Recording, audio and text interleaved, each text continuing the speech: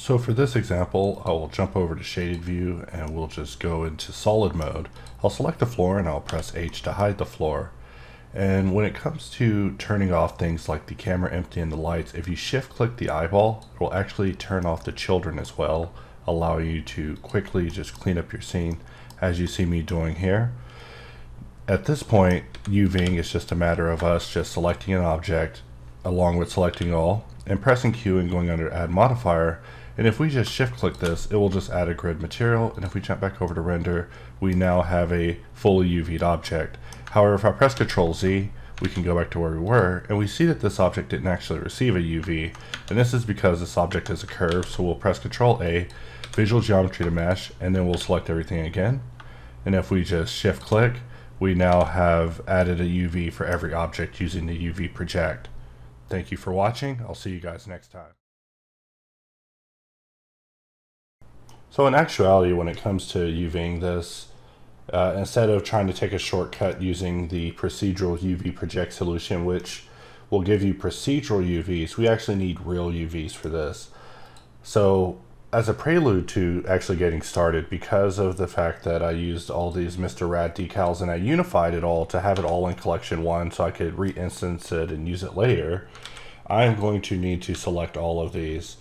It actually made me wish that there was a Shift G option to just select decals because that would be very handy. So I may be actually checking into that after this video.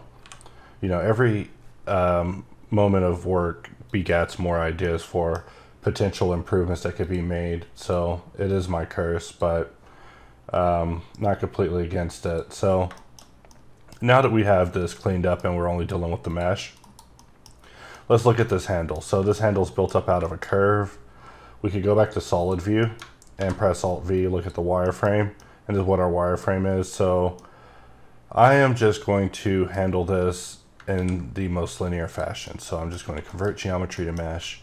And the first thing I'll do is perform a seam cut along the inside. Grab one of these edges on the outside. And just mark it as seam. Control L, you unwrap. I could be using hops to mark things as seams, but I don't actually want to do that since it would also mark them as sharp and affect shading as well. And that's not necessary. And I don't want to affect the shading shading, the shading settings to make that work either. So with everything else, I'm just going to select everything and we're just going to make our day shorter by choosing to smart apply. And even though the camera was lazily selected and an empty is selected, Smart Apply went through without a hitch. If we tap into edit mode, we're looking at the truest form of these meshes. So let's say that we're actually wanting to UV this thing. Um, in this case, there is four different instances of it and also a level of sub D was applied with it. So that might not have actually been necessary, but let's say that we wanted to UV this anyways. We've already done this. Let's go ahead and proceed. I'm just going to delete everything that's irrelevant and I'm just going to select the main shape, select what I want to mirror across, and we'll just mirror it back to where it was using modifiers. So then I could take it in local mode and clear the seam. And you'll you'll notice some patterns throughout this thing where, you know, I may go in and just, you know, hit it with sharpen and just investigate what pieces it gives me. For example, this one, we're looking at the UVs it gives us over here on the side, just pressing U, that's something a little bit better me being the way I am, I'm a big fan of grabbing the outside edges and just pinning it and then doing a second unwrap in order to get it to be a little bit more relaxed. Um, from the looks of it, it looks like that'll be fine. We can just hide that for this whole piece. We'll let this be its own piece, but all of this will not. So we'll control E, clear seam, grab this middle loop, mark seam, select this, you unwrap. And with this thing, we can straighten it out, of course. And I believe there's tools for this that I could be using. However, I'm kind of old school when it comes to UVs. I handle everything by the book still because just old habits die hard. I learned how to UV a long time ago and I've always fallen back to what I learned back then with, you know, thinking of everything as a big uh, paper origami that you're trying to figure out how to unwrap and fit into an envelope. I think I used to use a more serial killery uh, type explanation before, but I will just you know, set up these pieces and, you know, experiment with pack. And I'm saying experiment because more likely these will all be unified onto the same sheet. But for now, let's go in and find our pack. And whose pack is that? That belongs to UV Magic, so not our problem. Where's Blender's pack? Wow, you enable UV Magic, it adds a lot of options. There's pack just working for us. Some of these look a little dense. I'm just making sure there's not geometry sitting on top of itself. But now this piece is unwrapped. So let's actually make a UV material that we can assign to things. And also in addition, I want to make sure that PowerSave does not have autosave on. And I want to save this not as QBox 179, but QBox 179U for unwrap. And for our material, we're just going to stick in an image texture under color, new. We could just make this 2048 and we'll set it to UV grid, okay. And inside of the shading tab, we can actually mess with the nodes a little bit. So we'll at least put a texture coordinate down, just slap a UV in it. And now we're actually looking at the UVs that we're getting through hard work. However, we can also press Alt V and change this from solid texture toggle and actually see the textured view in the solid view without having to jump over to rendered, which can also be nice. So with this piece UV'd, we can just move this out the way. And now let's talk about this piece. Uh, with all these pieces, mirror was applied, so it's just going to be a nuance. I'm also going to press W to exit box cutter because it won't be needed for this. And let's look at this piece individually. First, I'll hit it with a sharpen which will kind of simplify things, but we want to clear this particular seam. And if we go in face mode and select just these boundaries, we can see what we're getting here. We're just going to choose to unwrap. We'll go back to the UV view for this. And we're still in local as well. So we're just looking at what our UVs are as we're working, just making sure everything's somewhat continuous. We could just rely on the sharp markings to give us our UVs, but I feel that we could be a little bit more efficient than that. For example, right here, if we just clear this seam, we can actually have this whole area be a complete piece. Just press U to unwrap and we get a nice unwrap for that. For this area, we want to probably remove these lines. They're not needed. In general, they're not needed and we'll just press U to unwrap. So far, so good. And if we select this piece, you would think that you would just want to unwrap it lazily like so into a bunch of pieces, but uh, I personally find that to be lazy. So instead we will mark seam and then select a boundary loop and actually make that the seam. And let's unwrap that again. And that's a little bit better. However, I like to really get these things to fit in their envelope. So we'll add some lines there. And that's actually the best use for it. For this one, we'll actually remove these seam lines and choose to unwrap this like so. And it looks like with live unwrap on, it might be a little bit funner for us. Sometimes I don't even experiment with the new features of Blender itself when it comes to this because I'm so caught up in my vanilla ways. But when it comes to UVs, I still consider them one of those sacred things that I feel is be better done in vanilla blender. So there's not a lot of tool expansion I have personally to, you know, get the most out of UVs. I'm also going to clear any seams from this. We're also going to clear any marks from this. And I'm pretty sure with this thing, we could just select all and press U, but we cannot press U. So let's select these four using L and press Control I and delete them. I'm sorry if I'm failing to go over all of the hotkeys completely accurately that's what the hotkey display in the bottom is for. I closed it and reloaded it before this video just to make sure y'all were able to see the hotkeys freshly. I feel like sometimes the program doesn't show my hotkeys in certain states. Also part of UVing for me is investigating the geometry. In lieu of uh, easy geometry work, I sometimes don't look to see if geometry is actually working out like right here. We see a pretty bad overlap so it's good for us to actually go in and resolve that. And there's no doubles. But we select this now, we press U, and this is actually a result that I expected. If we would have solidified this using Ramon with R and solidify, we wouldn't have had this issue, but I, who knows, I was probably just being lazy, and now that issue has come back to haunt me. And there's no need for seams on this, everything's a continuous piece. So we'll press numpad slash, come out of local, and we'll just mirror this to the other side.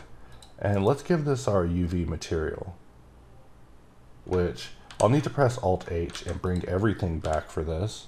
We'll just rehide these. And what is this material called? This material is called, I was about to give it a sarcastic name like Y-O-U-V-E, but sometimes I don't even have uh, humor in me. All right, there we go. So we'll give that the UV material and we're just looking at this thing with our UV material just as we're working. And this one is UVs for reals this time, not like last time where we were playing around. Whenever it comes to box cutter in a way that I work with it personally, I actually use the tool in a way where uh, I kind of envision um, the, kind, the kind of pain I'm about to be going through. Like for example, if I'm going to be UVing and exporting this thing to a game engine, it's definitely going to alter my design uh, choices a little bit. And that's not a bad thing, but you know, you should definitely use booleans responsibly. You can't just come over here using booleans and then um, put the onus of responsibility on us to help you get a perfect game ready mesh. These sort of things are things that, you know, require a little bit of work as you see here. However, you know, if I were to have thought of any improvements for this type of pipeline, you know, we would have we would have implemented them. But when it comes to this sort of thing, I, I, view this as a uh, you know type of auditing process, similar to adding subd to a model, being a auditor of how good your geometry is for subdivision. This will be a test of how good your subd your modeling is for UVing. So you'll have to you know make design choices accordingly. Uh, sounds sounds probably terrible, but you know it's the easiest way to put it because you know uh, when it comes to my personal work and working with clients, um, you know, it's just a question of you know, do you want UVs? How many UVs you want? Uh, all right, I'll I'll do it because you know at the end it's just a matter of keystrokes to just go in and um, break things apart. But I mean, you're the person who actually made and designed this stuff, so you know you gotta adjust that design if you don't want to um, paid a pauper, which I feel that any part can be UV'd. I wanted to do a series of videos just uh, unwrapping some of the more challenging assets I've done, just to kind of um, bring that point home and show that, you know, no matter what you make, you should be able to unwrap it just based on the ideology. And, you know, even just using vanilla tools, you should be able to pull it off. I'm trying to select this area with L, but it will not. And that's probably because this seam needs to exist and then I'm able to select this region.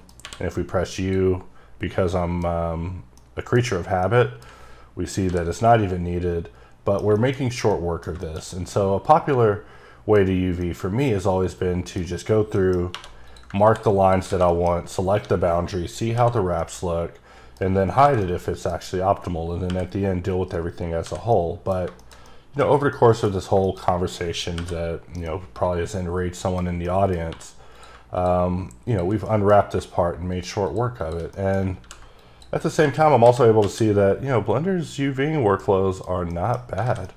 Not bad at all. However, if we look at this part, we could do better. And by better, I mean put one more line so it looks like that. And then if we select everything and we look at it, this is what we're looking at so far with our UVs. And if we Alt-H everything, this is what we're looking at with our UVs. So we'll go under UV and we'll choose to pack, pack islands. And this is what our packed islands look like so far. And if we just slap this with the UV material, we see that we got some pretty nice UVs for getting started with this. There's always better ways to UV, and I'm sure that there's UV experts in the audience who are saying, I would have UV'd it this way or that way. Well, this video wasn't for you then, I guess. But I do aim to um, try to assist with this because it's not a part of the process that I run from, but it is just one of the uh, lesser touch aspects of hard ops because our, our tool's aim is to be a workflow assistant. And this aspect of the workflow is just handled by so many other tools so much more handily. In fact, I'm a big fan of UV squares for jobs that require square type UVs. So we're just selecting things, getting to the boundary of it, going to face mode, and just looking at what our UVs are. And we could actually work smarter if we wanted to. We could just UV half, and we look at this side. And this is what we're looking at. And you may think, oh, that's good. That's a good UV. Well, actually, yeah, it is. Well, not not the best, but but suitable. So looks like my wallpaper is changing, which causes my computer to have a slight lag.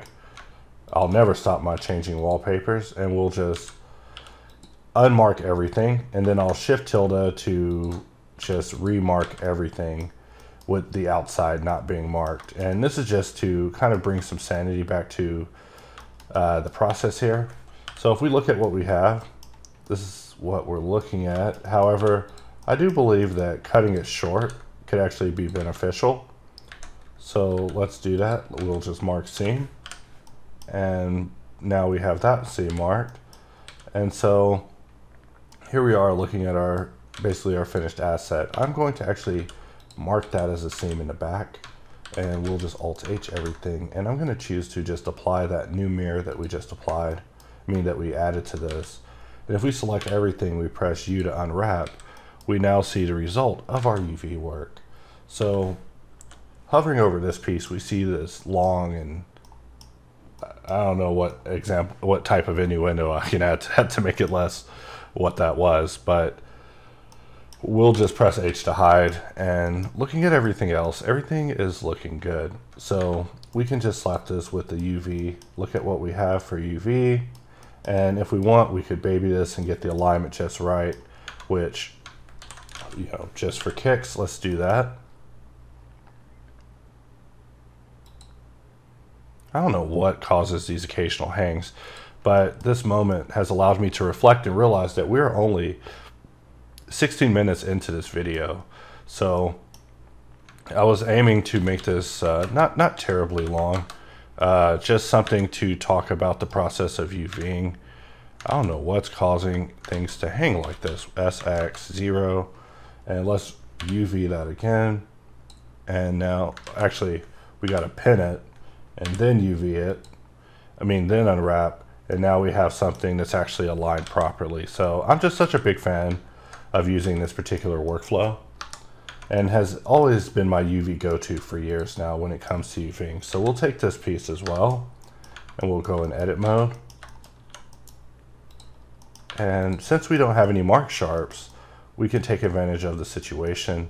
And you know, with every type of unwrap, I always try to approach things differently. Like you would think I would just mark sharp and just press U, but instead we're gonna try to take as much as we can like so. Just select it and then jump to the boundary. When it comes to boundary, I actually have it under select boundary loop, which I've right clicked and just added a hotkey of shift tilde and saved in my preferences by saving my preferences. Let's look at this. And that's a, a fine, nice unwrap, no issue there. And let's let's say we wanted the rest of it. And that's what we're getting. We're getting a mess. So let's remove this seam.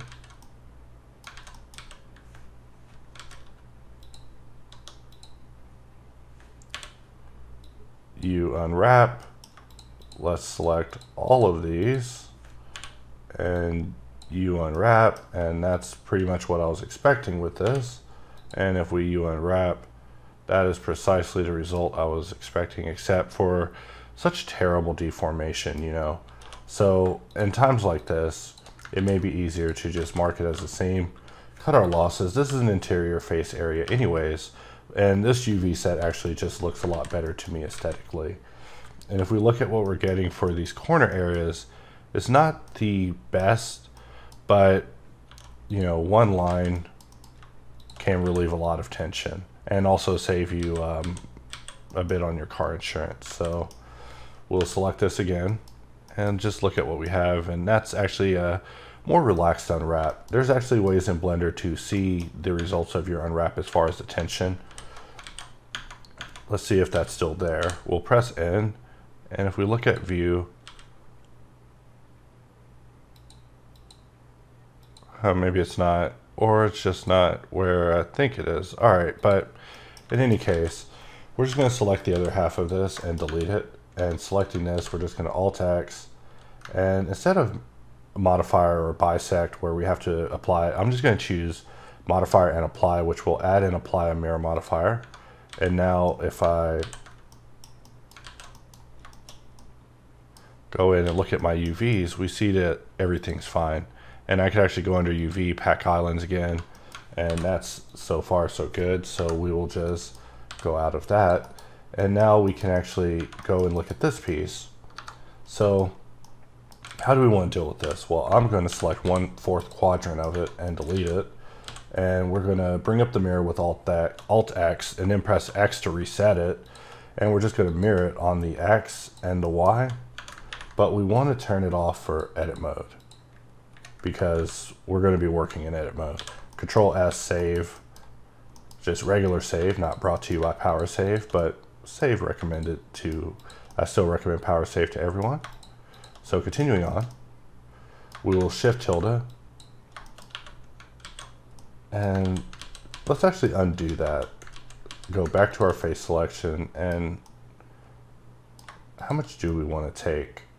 We could take all of that. Mark seam.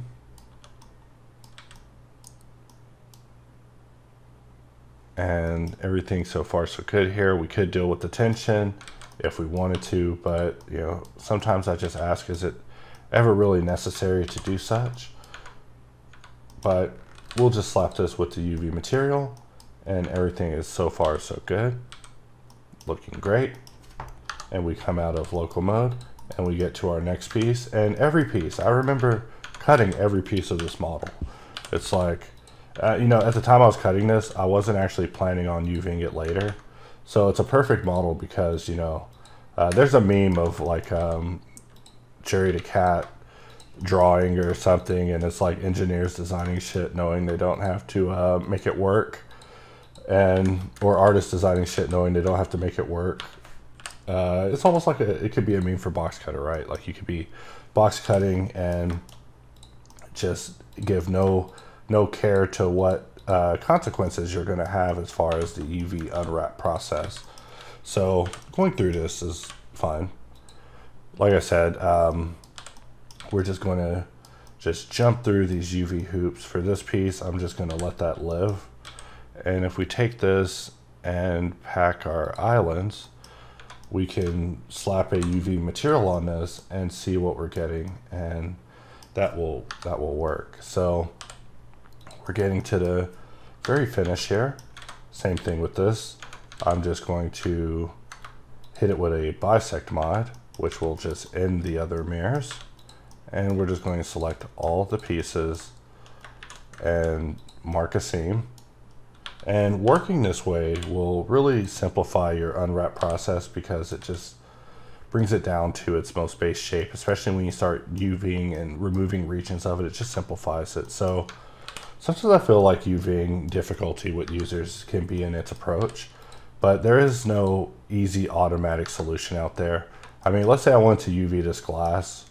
Let's say I wanted to really UV this glass fast. I'm just gonna hit it with a sharpen, which means that this edge in the middle just looks so weird. We'll remove both of those. For some reason, middle edges just aren't looking good in glass nowadays. And we'll press Control Numpad Plus to grow this and we'll press Control E, clear seam, and then Control tilde, and we'll mark seam, which basically has given this whole top area to the glass. We can see it at the bottom, and we look at this, and it's been broken into all these little pieces based on the sharp. So we just want to clear that because that's actually a better result. So if we look at both of them together, uh, actually, you know, we look at them together, and it's like, hey man, give me a better uh, glass unwrap? I mean, I guess. So...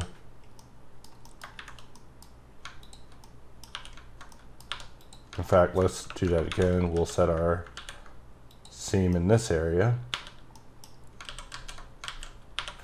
and we could just hide this. And you might notice that on the keyboard, I'm tapping quite a few keys, and that's because, you know, this process requires a lot of jumping between vert face edge, and it's just part of the game when it comes to UV. I mean, the best advice I can give you is as you do it, you get better. I mean, if you're not getting better, that's um, another problem. You know, probably should make a tool for that.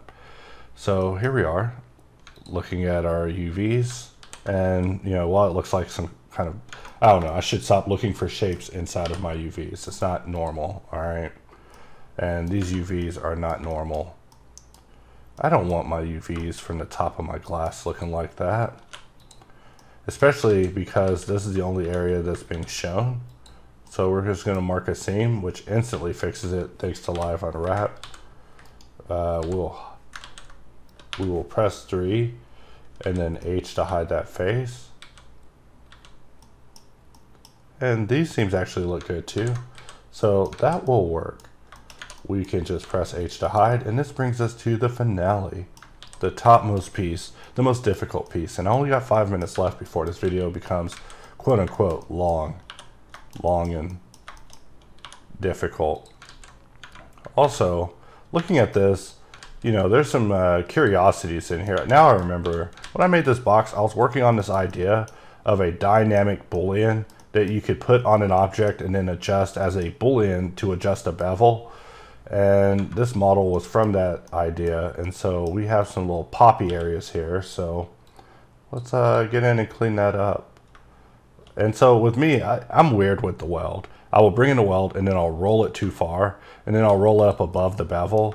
And then I just know that it did its job. Maybe too well. You know, we turn off weld. This is what we're looking at. And do we actually want to lose that much.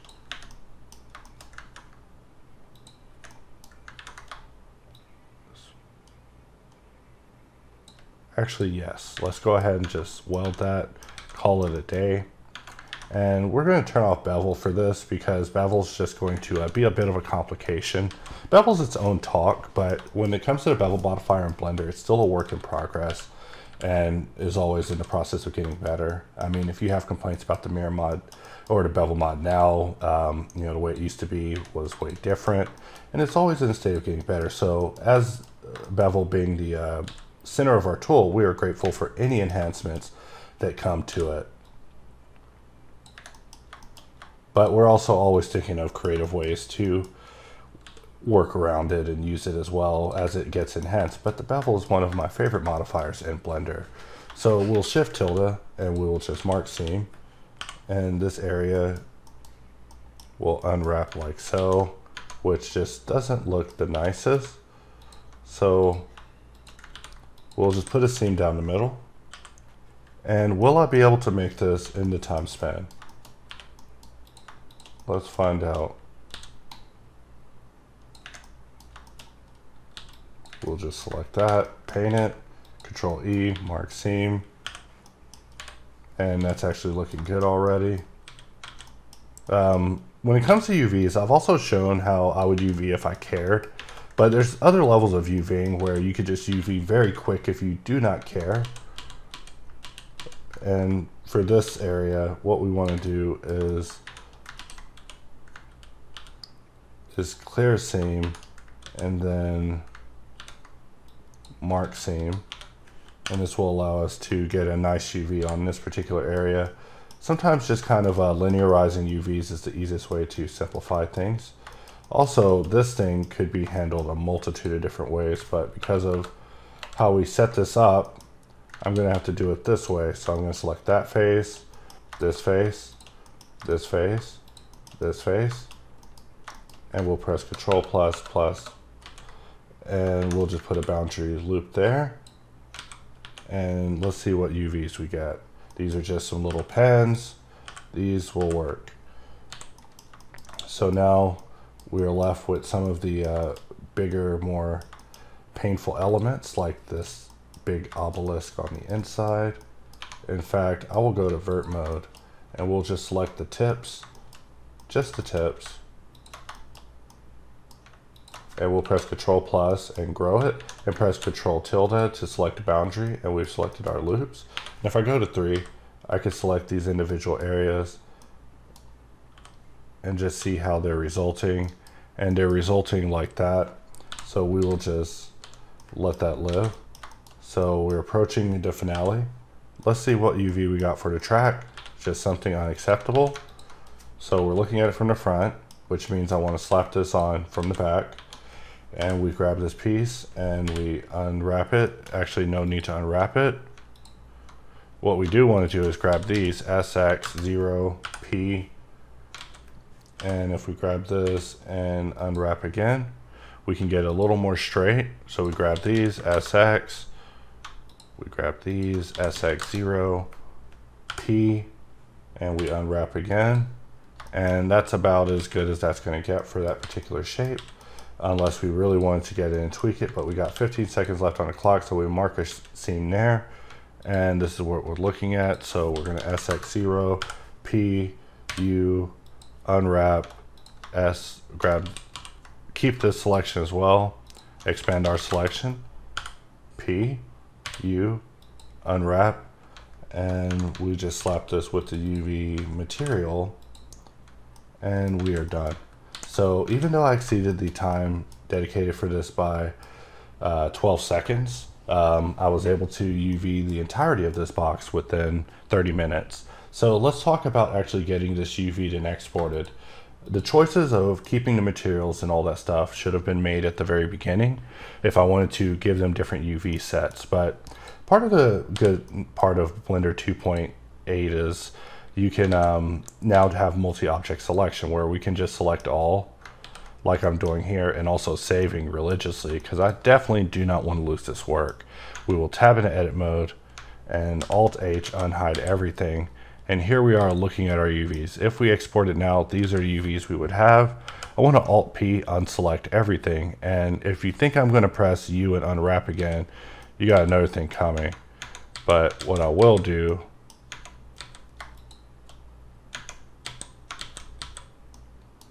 I don't know why certain objects are not selected in the side over there.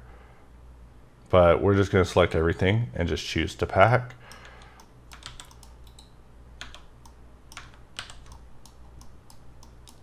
I uh, see. All right, so we want to choose to apply certain modifiers. Now, me personally, I'm a big fan of actually using batch operations which comes in handy just for those times where you really need it. Like right now, right now, I really need to apply this. So by just right clicking and applying it, we can just apply all the mirror modifiers that were present there previously. Let's just double check. And it looks like it may be having some issues with 2.9 at this time. Let's try that again. All right, so a little strange in 2.9. Let's go ahead and double back around to Smart Apply. So Smart Apply has definitely applied it because that's the job of Smart Apply. We've had internal debates on it. And let's tap back into edit mode and actually select everything and choose UV pack islands. And now we actually have this model UV'd and ready to go. In fact, you know, something about seeing all your UVs just packed at the end just makes my day. However, you know, even though some of the squares are bigger than the other, that's where we could use something like texel density checker in order to make sure everything works out right. So let's give that one a shot.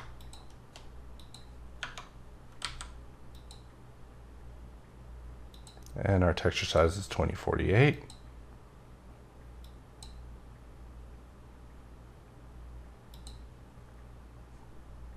All right and we'll just set my TD.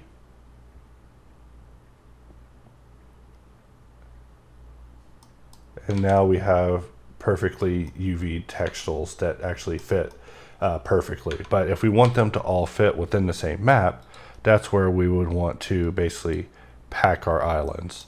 So now we actually have um, good UV tensile that's density. We have UVs on this and we're able to export this and continue on with our lives. So I hope that this was able to provide a little bit of insight on UVs in general and you know hopefully help you out. I mean the goal of this video definitely isn't to, um, you know, talk to anyone with any sort of condescension, but I only aim to help you guys get better and get the most out of your tool experience. So with that, we could wrap up this video and I'll see you guys next time.